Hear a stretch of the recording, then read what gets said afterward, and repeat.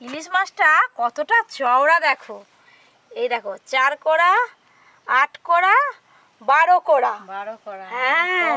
এই ইলিশটার ডিম নেই দেখে বোঝা যাচ্ছে ইলিশ মাছটার ডিম নেই। তাই। আর ইলিশ মাছের চোখ সাদা হয়ে গেলে সেই ইলিশ মাছ কিন্তু পচে যায়।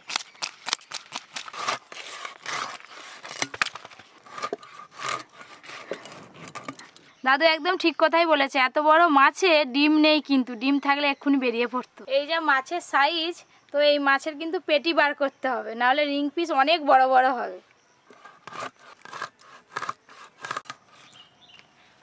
কেন দিদি পেটিটা কাটো।